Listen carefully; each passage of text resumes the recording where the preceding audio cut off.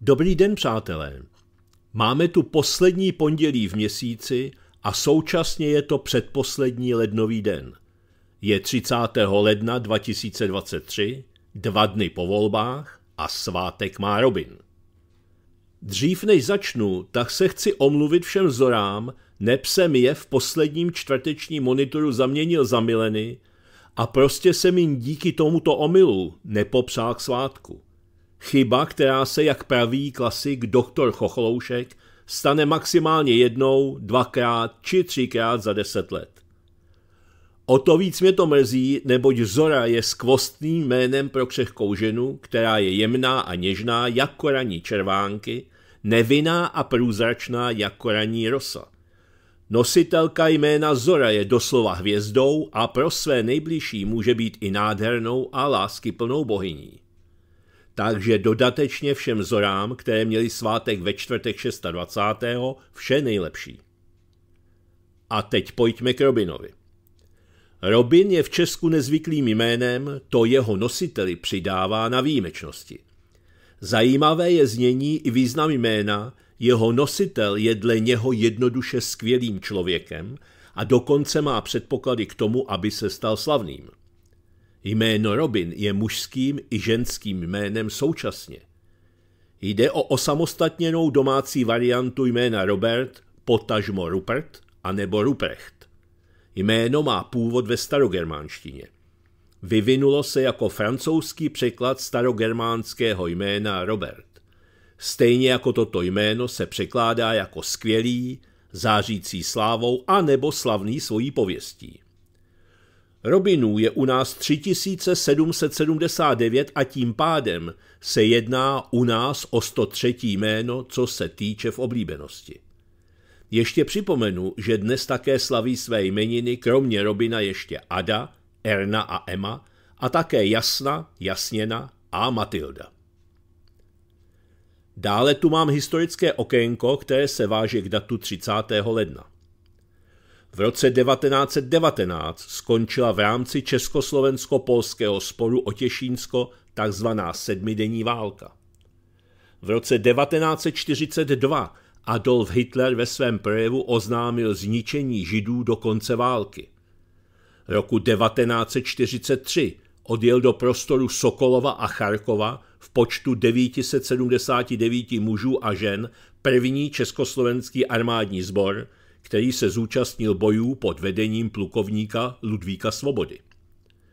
V roce 1945 sovětská ponorka S-13 pod vedením kapitána Alexandra Marineska torpédovala a potopila německou osobní loď Wilhelm Gustloff. Ke konci války, krátce před svou katastrofou, byla určena k transportu vojska a zároveň pruských uprchlíků z východního Pruska a Pomořanska v rámci operace Hannibal při ústupu před rudou armádou. Po deváté hodině večerní dostala loď tři zásahy a po cirka 50 minutách se potopila do 45 metrů. V ten den se teplota vzduchu pohybovala mezi minus 10 až minus 18 stupni Celsia. Teplota vody byla zhruba 4 stupně Celsia. O život tehdy přišlo okolo 9 tisíc lidí. Jedná se tak o největší počet obětí potopení jedné lodi v historii mořeplavby. Němci chtěli tuto nepochybně tragickou událost využít v rámci propagandy a tvrdili, že jde o sovětský válečný zločin.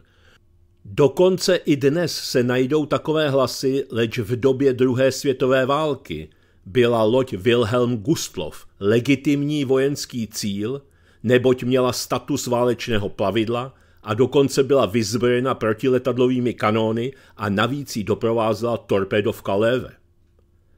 Jen pro porovnání, při stroskotání Titaniku v roce 1912 zemřelo v Atlantiku okolo 1500 lidí a při potopení Luzitánie německou ponorkou v roce 1915 na 1195 osob.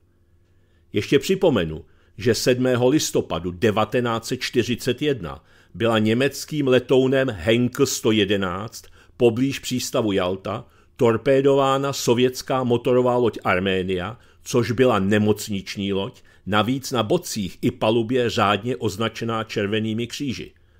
Při katastrofě zahynulo přes pět tisíc osob, některé prameny tvrdí, že jich bylo sedm tisíc. Jedná se tak o třetí největší námořní katastrofu v dějinách lidstva. A pojďme dál.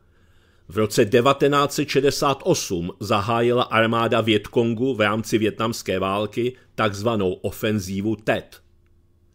V roce 1972 během demonstrace zvané též Krvavá neděle v severoirském Derry zastřelili britští výsadkáři 13 neozbrojených osob, včetně šesti nezletilých.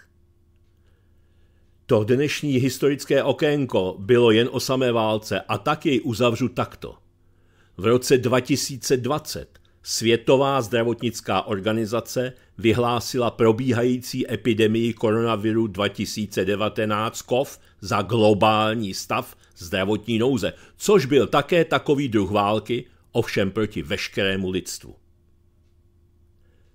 Dnes úvod uzavřu touto pranostikou.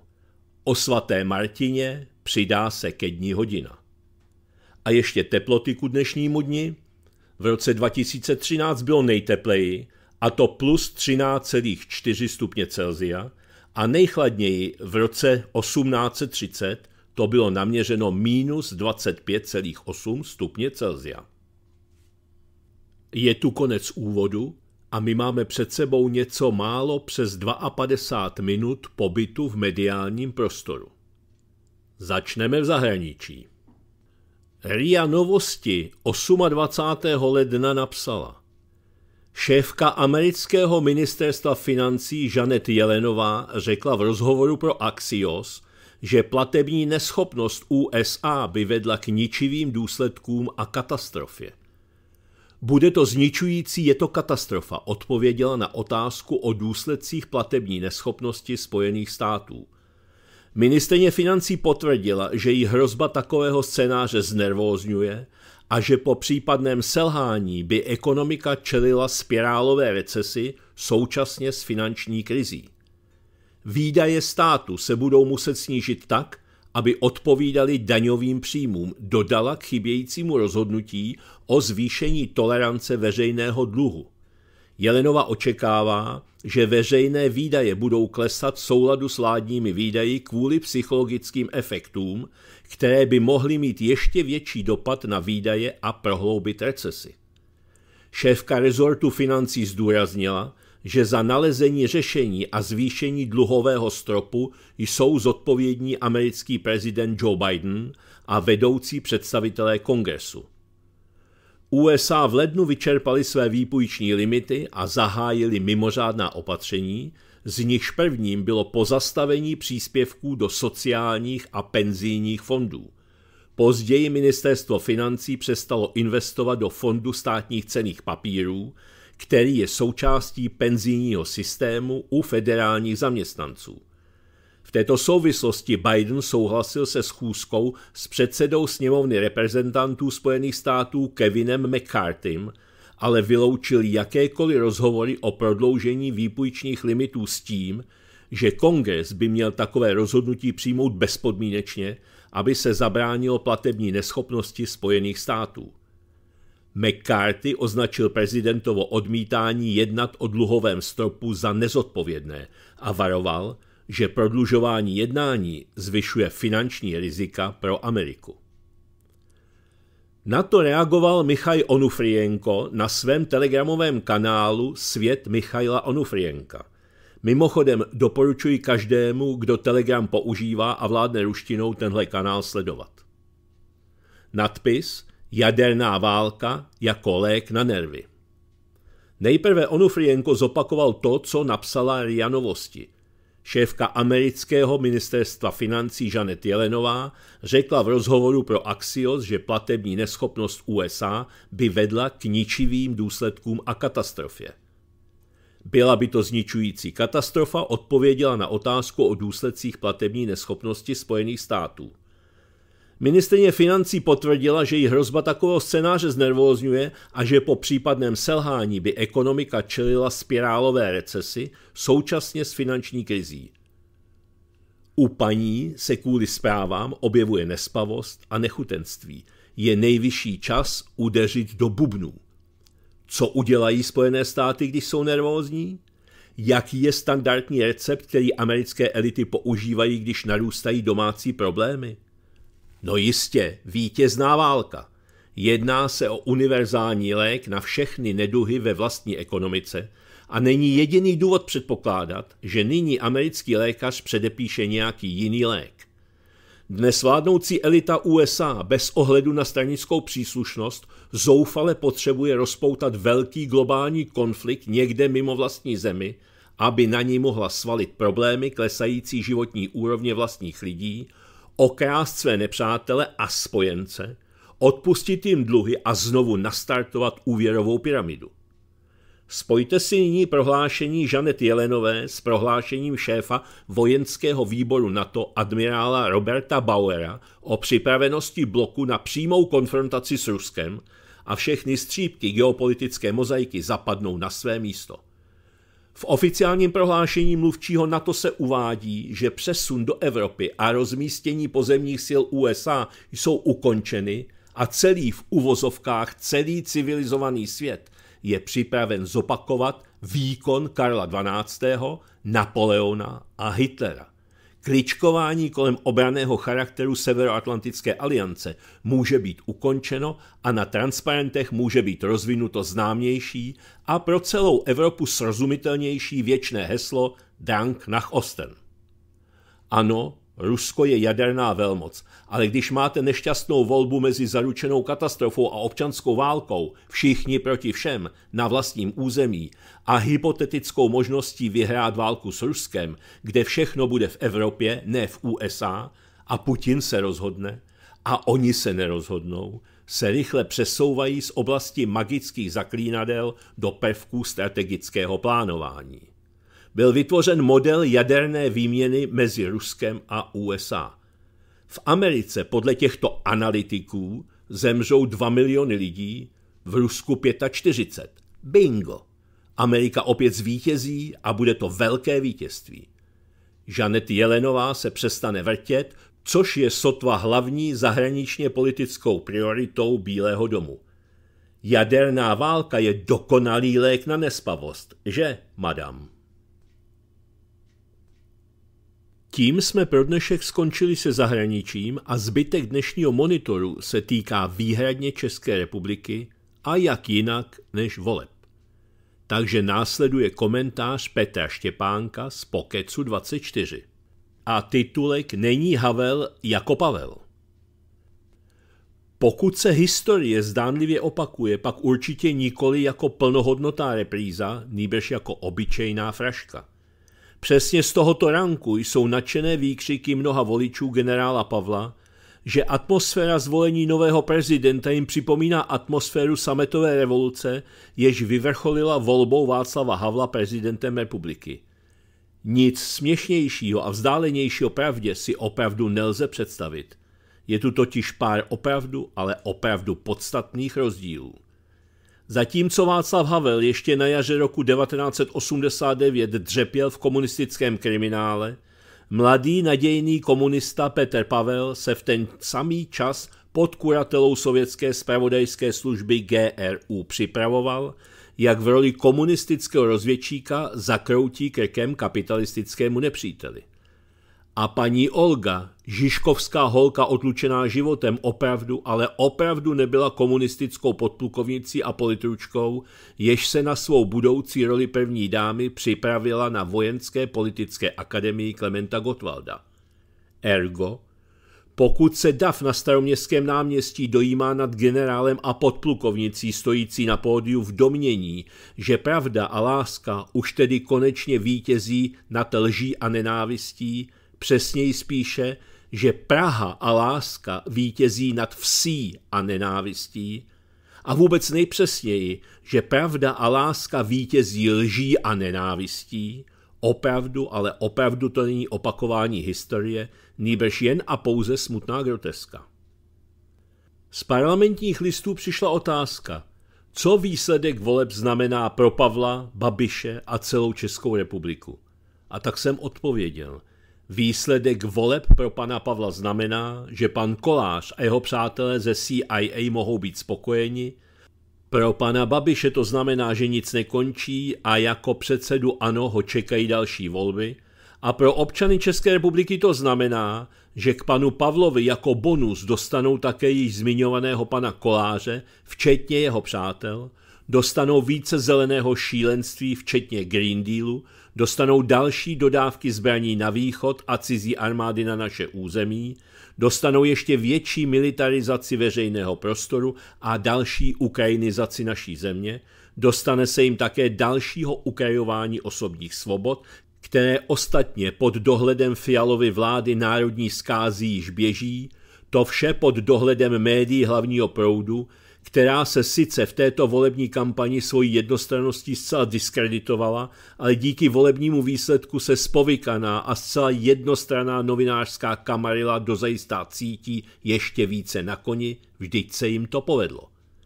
Mobilizaci zmiňovat nebudu, neb ze řetězu utržení politici, ku příkladu ten trouba ze stanu, poslanec Petr Letocha, který již udal předsedkyni Trikolory Zuzanu Majerovou, jsou celý natěšení, jak budou kde koho likvidovat podáváním trestních oznámení, ale třeba na ně také dojde. To pak hold bude natěšená mládež muset sundat flanel a navléci maskáče. Já si teď dovolím převzít a pustit vám jeden z dílů skutečně nekorektně Františka Kubáska. Akční plán proti dezinformacím, nejvyšší gestor a centrální plánování. Přebírám ho pro vás proto, že nemá cenu, abych tvořil totožné, když už vytvořeno je a tím pádem plítval zbytečně silami. Když si to poslechnete, zcela jistě začnete přemýšlet o tom, zda takový zcela jistě demokratický výtvor nový prezident podepíše. Ale abych vaše vnímání a mysl předem neovlivňoval. Tady je František Kubásek a jeho skutečně nekorektně. Akční plán proti dezinformacím. Již dva měsíce se diskutuje o velmi kontroverzním kroku takzvaně liberálně demokratické a údajně pravicové vlády. Po zhlednutí tohoto videa z vašeho pohledu zákonitě slova jako liberalismus nebo pravice přestanou v souvislosti s vládou Petra Fialy absolutně existovat. Přečetl jsem si celé znění takzvaného vládního akčního plánu proti dezinformacím.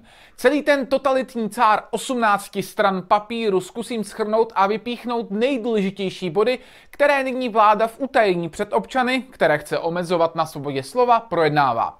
Na úvod je potřeba říct, že plán říká, že vzniká pod třemi ministerstvy. Pod ministerstvem vnitra Víta Cenzuršana ze Stanu, pod ministerstvem obrany Janou Černochovou za ODS a pod ministerstvem spravedlnosti pod Pavlem Blaškem také z ODS. Plán proti dezinformacím tak vzniká pod taktovkou hlavně stanu, ODS, ale náměstci a další podřízení jsou tam ze všech stran vládní koalice. Se vznikem pozice vládního zmocněnce proti takzvaným dezinformacím, kterou obsadil poradce Petra Fialy Michal Klíma v březnu 2022, vzniklo v červenci téhož roku také oddělení strategické komunikace, které spolu s dalšími nejmenovanými orgány státu tento plán vytvořilo. Podle akčního plánu státu chybí gestce zařízení politiky v oblasti tzv. dezinformací, Tedy není určeno, kdo má za danou problematiku odpovědnost. Nejsou dostatečně personálně technické kapacity pro monitoring tzv. dezinformací, čili je potřeba zřídit další úřady, které budou mít potřebný personál a technický aparát na sledování dezinformačních trendů a chybí také systém pravidelných cvičení, tedy nácvik mezirezortní spolupráce při reakcích na tzv. dezinformace. Je také potřeba posílit společenskou odolnost proti takzvaným dezinformacím, a to mediální gramotností na školách, placením faktčekerských z neziskovek typu manipulátoři a provládních novinářů ze státního rozpočtu, Říkám provládních, protože se tam píše o nezávislých. Ale když bude médium vědět, že nekritikou vlády vydělá třeba pár milionů na dotacích, tak se stane provládním a tím pádem závislým. A také je potřeba pracovat na demonetizaci dezinformační scény. To znamená, že když státní společnosti a úřady nebudou publikovat reklamy na špatných webech, ale jen a pouze na těch správných, tedy provládních, takzvaná dezinformační scéna se tím prý oslabí. A teď přichází těžší kalibr. Akční plán proti dezinformacím doporučuje regulovat algoritmy na sociálních sítích. Vzhledem k tomu, že český trh je malý, má tohle zajistit Evropská unie a tak musí Česká republika podporovat Evropský akční plán pro demokracii, kodex zásad boje proti dezinformacím a také ten samý kodex, ale posílený, vydaný před pár měsíci. Tento kodex signatáře nutí mazat vše tak rychle a pod tak těžkými hrozbami astronomických pokut, že se to bez mazání neškodných příspěvků, které někdo špatně pochopil, nebo bez mazání obsahu, na který naletla skupinka nahlašovačů, nebude dát zvládnout. Automaticky to znamená značné okleštění jakékoliv svobody projevu na internetu a sociálních sítích. Akční plán ale radí dál.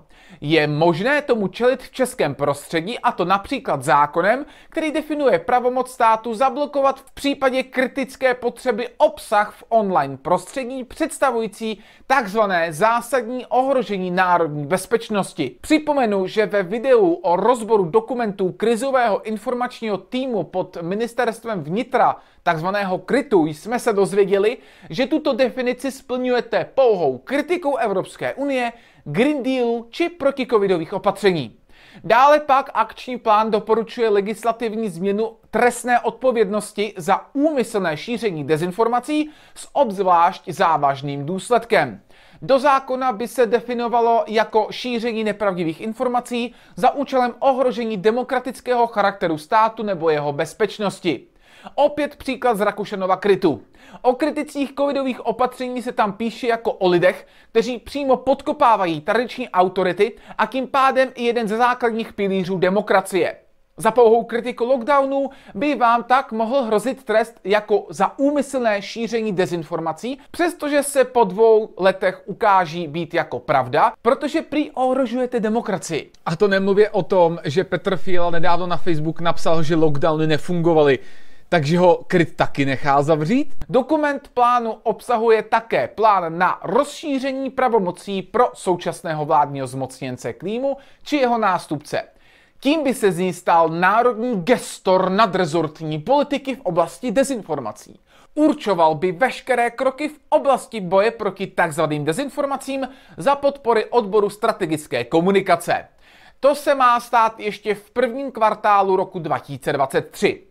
Měl by se také zřídit nový úřad, kontrolní orgán, který bude, a teď pozor, sjednocovat vládní úředníky, neziskovky, akademiky a novináře. Všichni budou spolupracovat na vytvoření názorově sjednoceného prostředí bez prostoru pro názory opačné, které při tom popisu, který známe z dokumentů vlády, například dokumentů krytu, se budou moci zaobalit úplně jakkoliv do definice dezinformace. Například příliš jednostranná kritika Evropské unie či NATO, zatímco jednostranné chválení těchto organizací samozřejmě trestáno nebude. To také spěchá a zřízeno to bude opět muset být v prvním kvartálu roku 2023.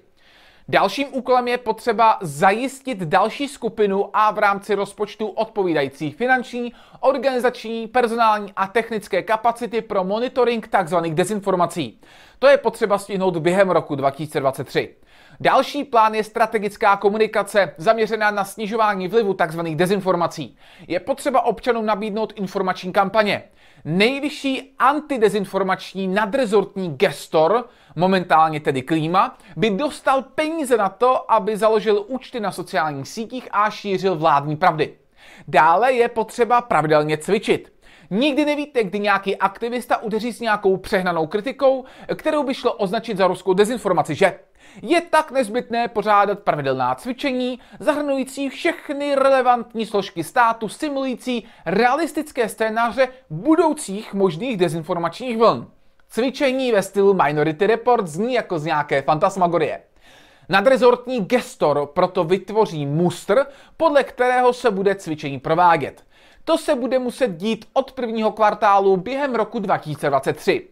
Pak tu máme tu finanční podporu. Lidem jako Elf Kartous nebo Lhář Cemper tak chce vláda rozdělit 50 milionů ročně, Médiím, jako je z ODS dlouhodobě provázané Forum 24, či další k vládě nekritické mediální domy, dostanou část ze 100 milionů ročně. Zřízeno má být na konci roku 2023. Předpokládám, že část peněz tito sluhové vlády dostanou ještě za rok 2023. Pak tu máme demonetizaci dezinformační scény. Ta znamená, že vláda nařídí všem státním úřadům a podnikům s významným majetkovým podílem státu jednoduše neinzerovat na webech ze seznamu nepohodlných. Stavebním kamenem pro takový seznam jistě budou již existující seznamy od již letitých bojovníků proti svobodě slova. Demonetizace má tak asi snížit motivaci tzv. dezinformátorů. Upřímně, já, tak dlouhodobý kritik konce svobody slova, kritik Evropské unie, kritik Green Dealu, covidismu i současné vlády a dalších šíleností z posledních let, beru finanční stránku své tvorby jako bonus. Tohle všechno dělám hlavně z přesvědčení. Mám práci. Mě to neovlivní. Avšak strategie, kdy stát určuje, komu financovat provoz pomocí umistování reklam, podle toho, jaké se tam prezentují články, mi ale přijde krajně nechutná a patřící do propadliště dějin. Autory podobných publikací chtěl před 35 lety ještě národ věšet na kandelábrech. Nevěřím tomu, že by ty lidi ze stejných důvodů najednou lid volil. Dalším bodem je právě to posílení české pozice při jednání v Bruselu o nařízeních na sociální sítě mazat jako o život, nebo spíš jako o astronomické pokuty. A konečně se dostávám ke dvěma šílenějším bodům. Ale ty jsem zmínil již dříve v tomto videu. Jedná se právě o tu blokaci webu a trestní odpovědnost. Jak jsem již upozorňoval, je potřeba na to nahlížet z širšího úhlu pohledu. Pokud podle dokumentů krytu pod ministerstvem vnitra jste dezinformátor pouhou přílišnou kritikou Evropské unie, genderových ideologií, Green Dealu, NATO, či mluvíte o úpadku západní civilizace, v podstatě splňujete předpoklady ke smazání vašeho webu. Pokud jste v roce 2020 či 2021 moc kritizovali lockdowny a nucení lidí se očkovat, jak je nyní zjištěno nebezpečnými látkami, znevažovali jste tehdy tradiční autority, ohrožovali jste podle nové definice demokracii a splňovali byste předpoklady k trestnímu řízení proti vaší osobě. Nakonec je podle autorů akčního plánu potřeba zaměstnat 19 dalších státem placených lidí na úřadu vlády do odboru strategické komunikace. Toliko k pravicovosti vlády a šetření na výdajích státu. Prostě co týden to nový odbor, úřad či cokoliv jiného. Na úplný konec přidám vtip, který ale není vtipem. Pravicová vláda má připravit, a teď pozor, centrální plánování inzerce. Kým se zajistí nepublikování reklam na nepohodlných webech. A já už se jen budu bavit nad tím, jak se politici odkopou. Nyní totiž mlží. Jednání o plánu je tajné. Odborníci, kteří jsou podle vlády citováni v dokumentu, nejsou uvedeni. Celý ten plán vypadá o to vážněji, když si uvědomíte, že vláda odmítla veřejnoprávnímu médiu tento plán zveřejnit, protože se prý bála, že bude desinterpretován. No, tak tady vidíte tu desinterpretaci, že? Občané se zatím baví, ale nezapomeňte na další malou souvislost. V roce 2021 vydala Evropská unie dokument s názvem Toto už není vtipné, kde rozebírala takzvaný pravicový smysl pro humor jako nebezpečnou věc v informační válce. A tato vláda má gestce ohledně regulace sociálních sítí přenechat té samé organizaci. Já se osobně nestačím divit. Musíme si uvědomit ještě jednu věc, kterou si ne všichni uvědomujeme. Je to v podstatě celozápadní problém. Podobné boje proti takzvaným dezinformacím se vedou všude, kde si jen vzpomenete.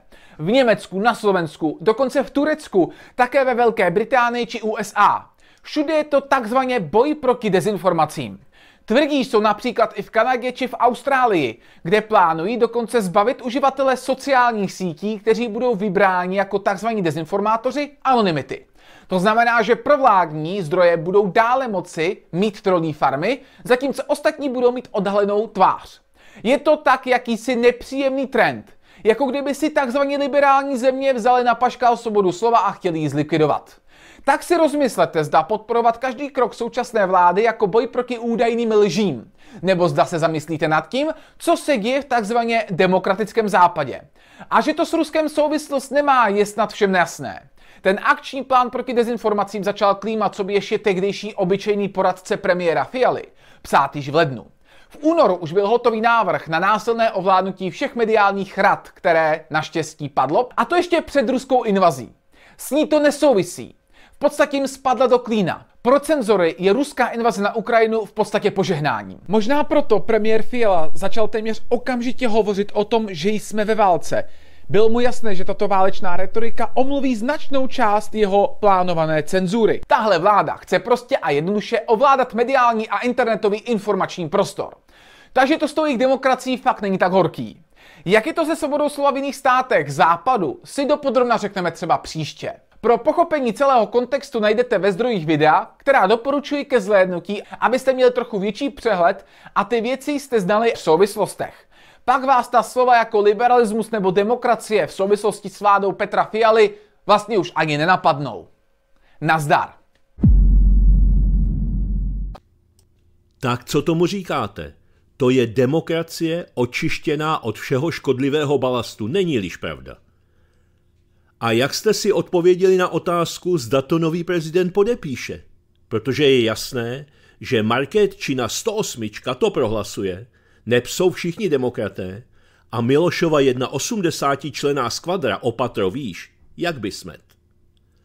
Opět radostně kráčíme ke světlým zítřkům, ale hlavně do píp Místo toho pípnutí tam patří expresivní výraz, který není možné publikovat před desátou večerní. A na řadě je i nadhled live.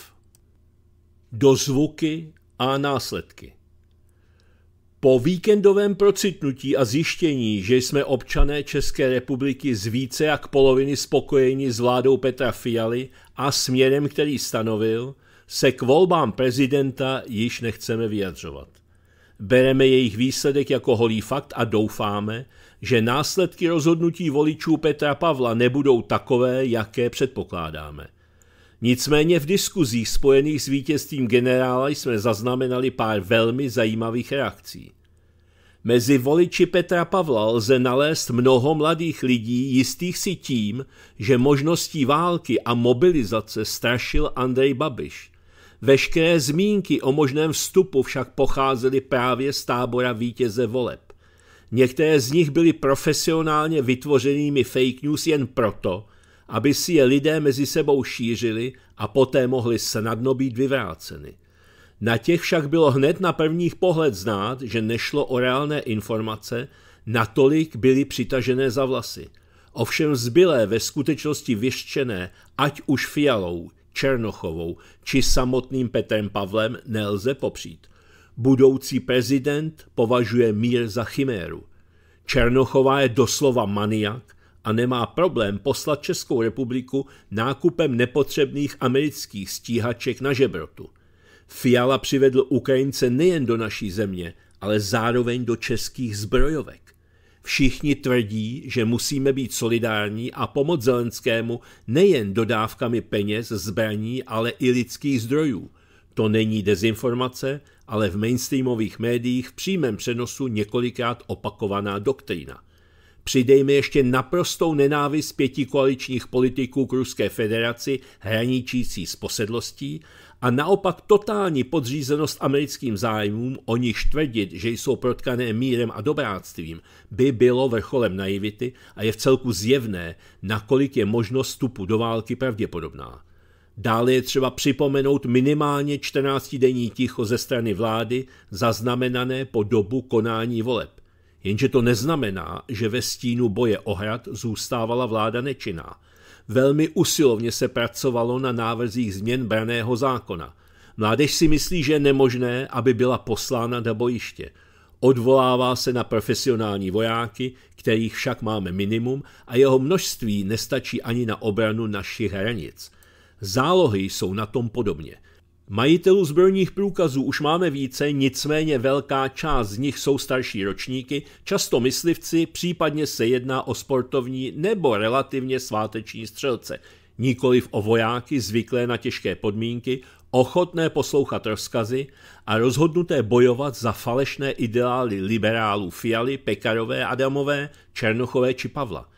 Navíc většina majitelů zbraní, tedy s výjimkou lovců, je vlastní z důvodu sportovních aktivit či možné nutné sebeobrany, nikoli jako útočné a sloužící k zabíjení domnělého nepřítele. Nedostatek vládou využitelných branců je tak zjevný, a to nepočítáme ty, kteří by prostě proti Rusům nikdy nešli a stát radši opustili.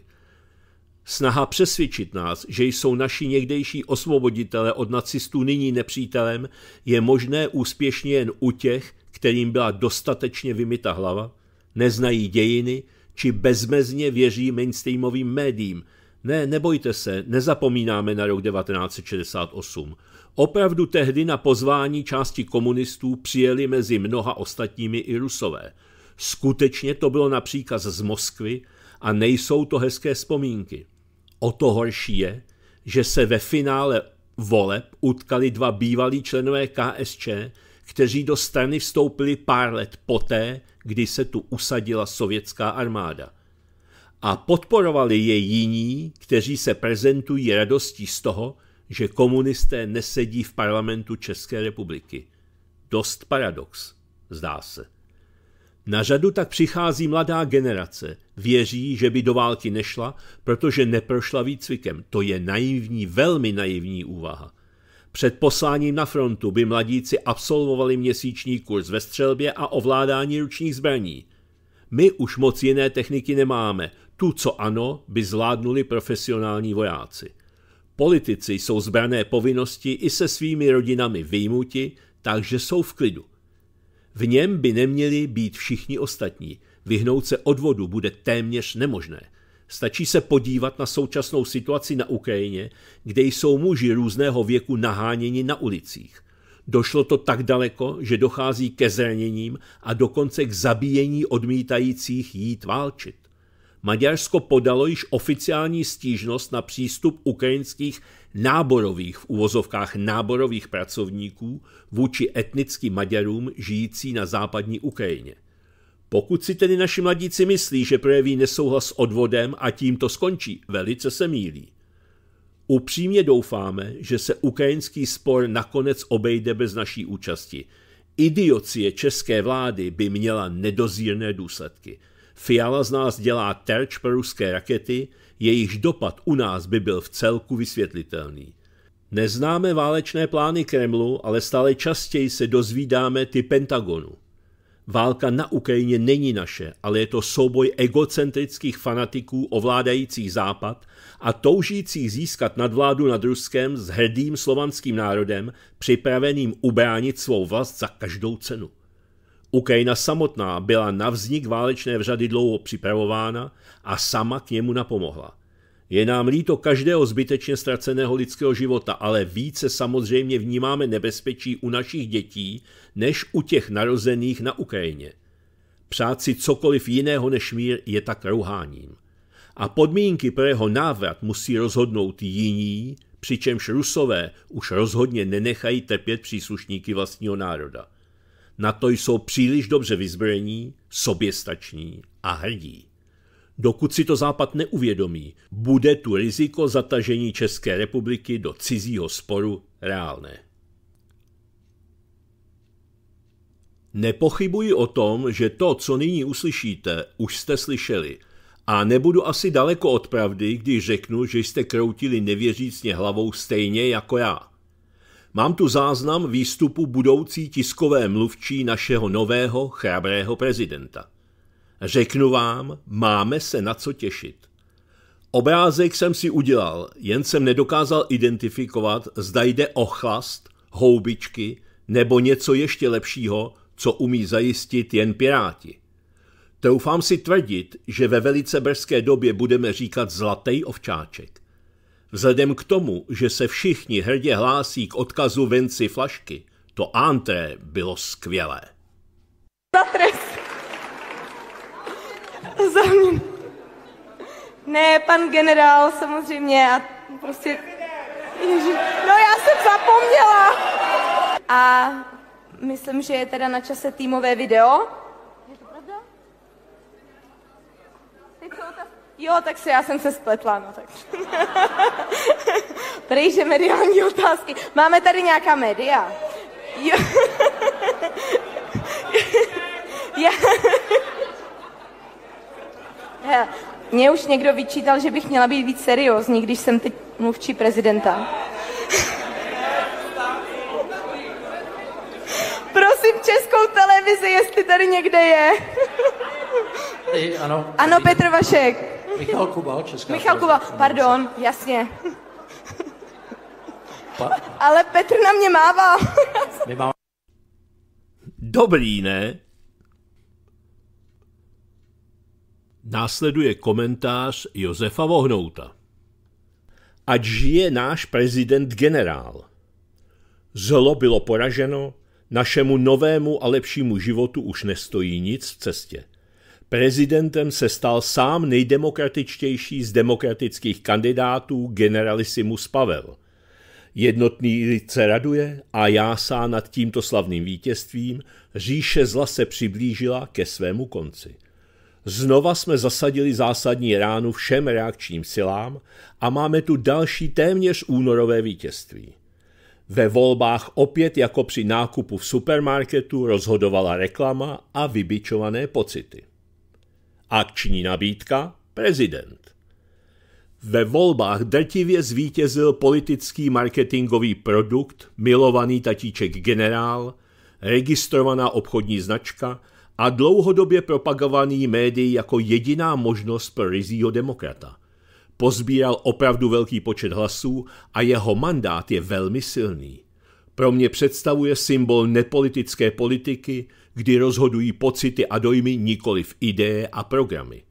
Dlouhodobé cílení na emoce ve smyslu náš kandidát je kosmické dobro, kdežto opoziční kandidát je stělesněním satanského pokušení, opět zvítězilo. V čem se liší Babiš a Pavel? Oba kandidáty nelze na první pohled od sebe rozeznat. Jeden je bezpáteřní zmetek a ten druhý taky. Když si sečtu hlasy z prvního kola, tak 70% voličů odevzdává svůj hlas kandidátům, o kterých je všeobecně známo, že mají morální profil prkoše. Naprosto nepochopím po mnoha veletuctech výčitek na komunistickou minulost Babiše, co vedlo lidi volící Pavla k pocitu, že jeho komunistická minulost je naprosto v pořádku. To, že včas přeběhl na stranu bývalého nepřítele – Reprezentuje touhu vždy se přidat na vítěznou stranu. Chápu jejich zaujetí v prozápadní orientaci, ale takto politicky přesvědčení lidé měli na výběr jiné kandidáty s naprosto shodnými názory bez podobné zátěže. Přesto se vítězem prvního kola stal kovaný bolševik Pavel s obměněnou životní partnerkou Politrukem. Vyhrála argumentace, že jiní kandidáti nemají šanci uspět a média propagovala jen vybranou trojici kandidátů. Zůstává otázkou, zda se jedná o sebepotvrzující proroctví nebo správné průzkumy. Emoce vítězí. Pamatujete si po vítězství Zemana na záplavu nálepek, že to není náš prezident, ale kaní pravověrných, jak moc se stydí za tu hromadu hnoje, co sedí na hradě? Tohle z druhého tábora nějak není slyšet. Bohužel se musíme smířit s tím, že média volební realitou zručně manipulují a postupně spějeme k politice jako tržnímu produktu, nebo si dokonce troufnu tvrdit, že už to tak máme. Je nutné počítat s realitou, že lidé volí především podle vybičovaných emocí a v případě správně emočně podaného příběhu budou ochotni souhlasit s čímkoliv. Což je poněkud špatná zpráva pro svobodu v této zemi. Vždycky jsem se divil, jak mohla v 50. letech společnost tak zhloupnout a komunistů masově baštit propagandu, ale při pohledu na současné dění už tomu rozumím. Podat prodejného, bezpáteřního bolševického křiváka jako záruku demokracie a svobody, to je opravdu vrchol vybroušeného lakování skutečnosti. Skupina charakterizovaná slovním spojením Pražská kavárna se nejvíc ohání kritickým myšlením, ale podléhají emoční argumentaci nejrychleji a výměny jejich názorů jsou čím dál častější. Čest výjimkám v tomto případě, ale velkou většinu této sociální skupiny reprezentuje soudruh Svěrák. Také mimochodem mírně řečeno velmi zajímavý charakter. Kroky víc než symbolické. Přičemž Pavlovy kroky jsou více, než je symbolické a zřetelně naznačují, co lze očekávat. Hned odpoledne po volbách bude mluvit s prezidentem Ukrajiny, pak s prezidentkou Tajvanu a pak až s prezidentem Zemanem. Bude s nimi hovořit podle toho, jak se kdo ozval a prý tam není žádný plán. Že by někoho taková věc mohla napadnout, že? Na tom dalekém ostrově na východě nemají prezidenti nic lepšího na práci, než sledovat volby v České republice. Ani si nedělat starosti s tím, co kdyby se náhodou nedovolali, když tak v klidu počkají na další možnost. Takhle to běžně v mezinárodní politice chodí. Nudíte se z přebytku volného času v prezidentském paláci, tak vezmete telefon a zavoláte pár náhodných čísel. Co tahle symbolika znamená, si pozorný čtenář jistě dovodí sám z míry kompetencí, kterými jmenované země vládnou a společného jmenovatele obou režimů. Dalším symbolickým aktem je oznámené jmenování Markéty Řehákové jako tiskové mluvčí prezidenta, která ve firmě Semantic Vision pracovala jako bezpečnostní analytička specializující se na boj proti dezinformacím a ruské propagandě – Zatímco v ulicích se jásá a tančí nad velikým lidovým vítězstvím, jistí soudruzi neváhají a nestrácejí čas. Známý novinář s přezdívkou Vidlák je zatím zvořile pozván na policii, aby objasnil své politické pohnutky a vyvodil soudružskou sebekritikou pro sebe důsledky. Inu čeká nás ráj na zemi a budeme šťastní, ať už chceme nebo ne. Jedna společnost, jeden stát, jeden prezident. Prezident generál bude společnost jednocovat, což je heslo, které mě značně děsí. Společnost je lidské seskupení, které je z principu věci různorodé a tedy nejednotné. Vždy se nabízí otázka, co se živly, které budou k tomuto sjednocení vzdorovat nebo odporovat. V minulosti jsme již pár skvělých a neotřelých řešení viděli – Jasně, můžete namítnout, že trestní politika státu není v kompetenci prezidenta, tak co to tu píšu za nesmysly. Mimochodem, argument, že má možnost ovlivnit podobu ústavního soudu, tak máte pravdu, není. Je nutné pochopit, že klíčové není jen to, co může, ale i to, co neudělá a především, co symbolizuje. Stačí si vzpomenout na Pocheho, prezident sice nemůže ovlivnit výběr ministra, ale prostě ho nejmenuje a jaký byl. Kompetenci nemá, ale reálně to ovlivnit může. V naší zemi máme přímou volbu prezidenta a za jeho názory nebo hesly, které předestírá v kampani, stojí značné množství hlasů. Proto není náhoda nebo neznalost, že se kandidáti vyslovují k tématům, na které prezident nemá oprávnění nebo vliv. Mimo jiné se tím testuje, co obyvatelé chtějí nebo s čím jsou ochotni souhlasit. Kde jinde by se dal získat tak rozsáhlý průzkum? Pavel symbolizuje naše plné zapojení do ukrajinské války a té byla vyslovena hlasem lidu velká podpora. Jestliže kandidát na prezidenta předem oznámí, že jako svou tiskovou mluvčí si zvolí bojovnici s dezinformacemi alias cenzorku, a přesto dostane takový počet hlasů, je to jasný signál, že lidu obecnému je nějaká svoboda slova u zadku.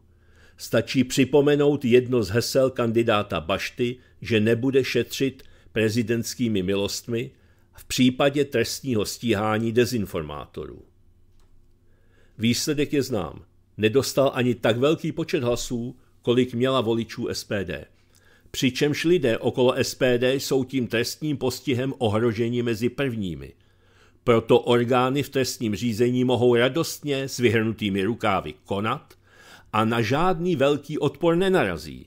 Tudíž prezident a jeho postoj má zásadní vliv na činnost státu. Když to otočíte naopak, a prezident s tímto počtem hlasů by v kampani prohlašoval, že nedovolí, aby policie pronásledovala novináře za politické názory, Konaly by orgány stejně aktivně?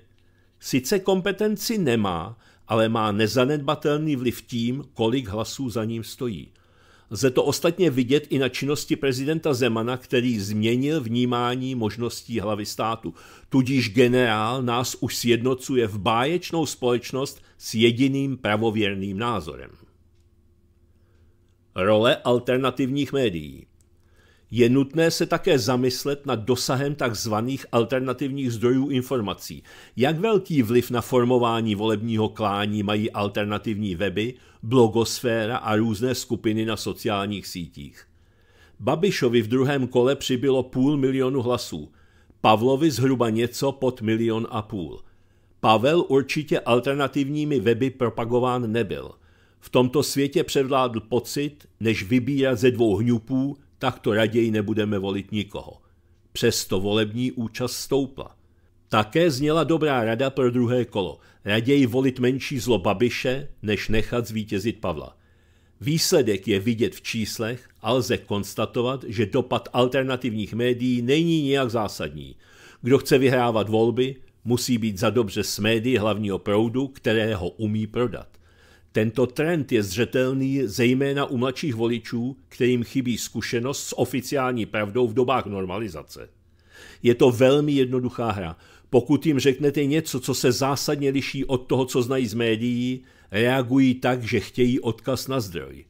Že si něco pamatujete, či máte vlastní názor, nebo si něco dovodíte sám, to je automaticky špatně, protože nejste odborník. Pokud nějaký zdroj dohledáte, a to i přes panující cenzuru na webu, která zatím není dokonalá, tak hra pokračuje prohlášením, že to je nedůvěryhodný dezinformační zdroj. Kruh se uzavírá a stačí si připomenout covidové šílenství. Přestože alternativa měla pravdu, svět chtěl být klamán. Pro budoucnost svobodné společnosti to nevěstí nic dobrého a lze říci, že na tento trend už upozorňoval ve své analýze 17. listopadu Miroslav Dolejší. Nejsem životní pesimista a nemyslím si, že nastává konec světa, nicméně signály nastupující totality jsou víc než zřetelné a dovolím si konstatovat, že v ní již žijeme. Kdyby mi někdo v prosinci roku 1989 řekl, že prezidenta budeme vybírat z možností aktivní příslušník tajných bezpečnostních složek a konfident tajné policie, přičemž oba budou svými přívrženci vnímáni jako jediná možná záchrana státu, tak bych se na to cinkání klíči na vymrzlém náměstí vykašlal. No a protože se kvapem blíží konec dnešního monitoru, tak si na závěr dáme nekorektní fejeton. Ten dnešní jsem nazval Zlý černokněžník napsal hodný blbec. Že naše kulturní fronta je na tom bídně, to vím dávno. Ovšem, že to nabírá takové obrátky, je nevýdané. Vrcholem této pyramidy zůstávají herci a herečky – do té řady profláklých, jako je Holubová a Svěrák, se zařadili i další. Moc se mi líbí, jak ti pěti koaličníkovští příznivci vykřikují něco o tom, jak jejich oponenti rozdělují společnost a vykopávají příkopy mezi občany. Proto se Jiří Lábus rozhodl tyto příkopy zasypat a napsal a namluvil svou vlastní pohádku, kterou nazval Zlý černokněžník Bureš a hrdina válečník Petr – v skutku záslužná práce tahle pohádka o zemi bez paměti. V ní nazývá proti kandidáta válečníka zlým černokněžníkem Burešem, jehož vinou umírali lidé a představuje hrdiného vojevůdce Petra, který nikdy nekradl a nelhal a v zemi nastolí řád a klid a bude zase dobře. Tak určitě. Jen bych si dovolil toho lábu se upozornit, že v nadpisu toho svého veledíla má chybu – Nadpis jeho pohádky není správný, protože je víc než jasné, že ten hrdina neohrožení nás spíš než k urně dovede do urny. Jo jo, cesta do urny bývá složitá. Jiříku, Jiříku, ty zlý čaroděj Rumburaku, co jsi za komunistů tak řádil, že ty se snažíš dohnat v popularitě holubovou. Starých časů se ti zachtělo holoubku. Ani se ti nedivím, když se tehdy lísal k moci pánům a měl se jako prase v žitě, neb si vždy věděl, ke komu a na kterou stranu se přidat. A ještě jedné chyby si se, milý Jiříku, dopustil. Ten hodný se přece jmenoval Pávek a byl to syn kapitána Minaříka, což byl taky frajer. No jo, no, Kašpar hold matku, bílou nemoc nebo krakatit nenapíše, zvláště když se dostane do fáze, kdy se Alzheimer ozve v plné síle, protože jinak by to nemohlo být tak uboze primitivní, i když, i když taková díla vznikají i po požití houbiček či něčeho podobně výživného. Byč boží a červy se rozlezou, že? Bez lajiny se něco takového snad ani napsat nedá. A dočíst to nebo dokoukat asi taky ne. Jen se tu potvrzuje pravidlo, respektive pořekadlo, co se v chlívě narodí, to ti v kleci nezaspívá.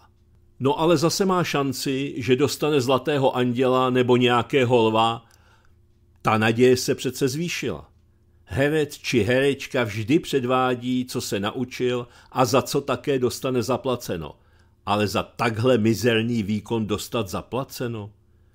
Jen si tak říkám, že Babiš udělal obrovskou chybu, že tyhle komedianty nenechal za covidu rejt rypákem v zemi. Nikdy jsem si nestotožňoval herce s jím hranou postavou, takže pokud jsem potkal na ulici Martina Růžka, neviděl jsem v něm světa šestýho a nikdy by mě nenapadlo požádat Ladislava Chudíka o operaci kolena. V posledních letech si ale s mnoha herci a herečkami stotožňují blbost. Jen doufám, že to divadla poznají na návštěvnosti. Prostřednictvím mé osoby zcela jistě. Už jen proto, že mám divadlo rád, nikoli však ubohou, podlézavou a díky tomu i dobře placenou šmíru.